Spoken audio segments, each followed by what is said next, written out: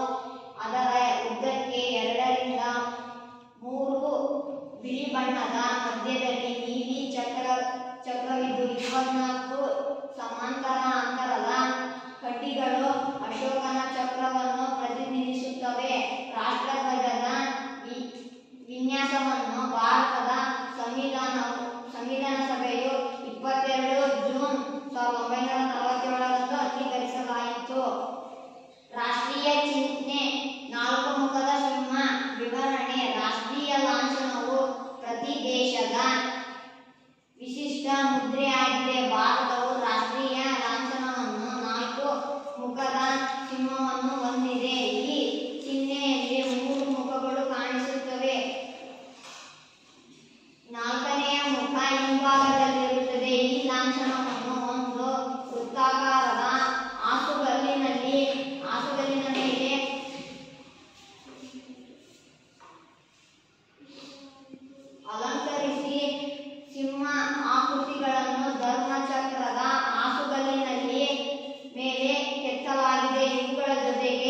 ಸತ್ಯಮೇವ ಜಯತೆ ಪದವನ್ನು ದೇವನ ದೇವನಾಗರ ಲಿಪಿಯಲ್ಲಿ ಕಾಣಬಹುದು ಈ ನಾಲ್ಕು ನಿಮ್ಮ ಶಕ್ತಿ